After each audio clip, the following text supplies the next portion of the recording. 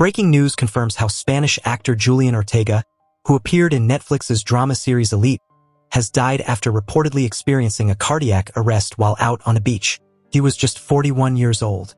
Ortega's death took place on Sunday, August 25th, and it was confirmed by Spain's National Union of Actors and Actresses in an obituary that was put out earlier this week, which read, From the Union de Actores y Actrices, we send our most sincere condolences to the actor's family and friends. Also, the initial reports about his death had suggested that Julian had drowned, but was later confirmed that Ortega had gone into cardiac arrest on the shores of Zahora Beach in Barbate, Spain.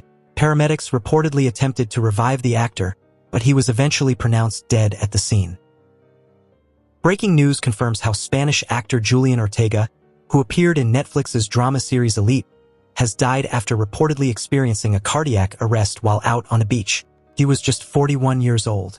Ortega's death took place on Sunday, August 25th, and it was confirmed by Spain's National Union of Actors and Actresses in an obituary that was put out earlier this week, which read, From the Union de Actores y Actrices, we send our most sincere condolences to the actor's family and friends. Also, the initial reports about his death had suggested that Julian had drowned, but was later confirmed that Ortega had gone into cardiac arrest on the shores of Zahora Beach in Barbate, Spain. Paramedics reportedly attempted to revive the actor, but he was eventually pronounced dead at the scene.